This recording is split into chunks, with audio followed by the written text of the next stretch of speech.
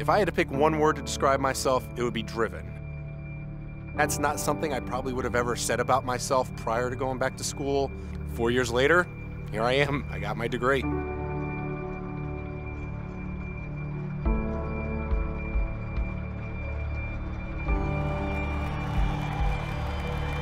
I'm the first of my family to graduate.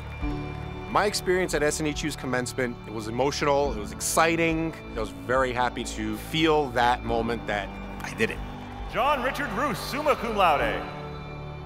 My family, especially my mother, got to see that. My father bought a new suit, and everybody just had a lot of fun. And I'm so happy I was a part of it.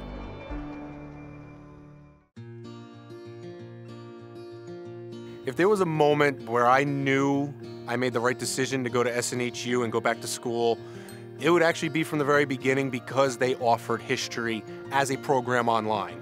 It's been a passion of mine since I was 10 years old and I visited Gettysburg, Pennsylvania with my family and saw a ranger giving a tour and that's what I wanted to do. My breakthrough moment was when SNHU Career Services told me to go for an internship. And within about two weeks, I was volunteering, getting ready to give tours. For all that to lead from SNHU Career Services, it's how I started with my Park Service career. And I'm very happy in what I do now.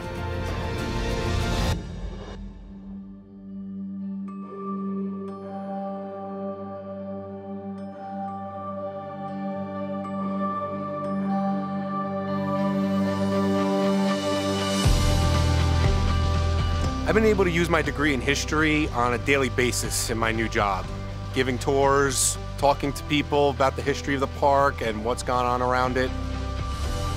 Now that I have my degree, I'm working in my dream job. SNHU created a great base for me to continue on my journey, continue driving towards my goals. If there's one thing I could tell myself at the start of my educational journey, it would definitely be to never give up it's to be all worth it. You're to achieve your dreams. You're to be moving forward in your life. Don't ever give up.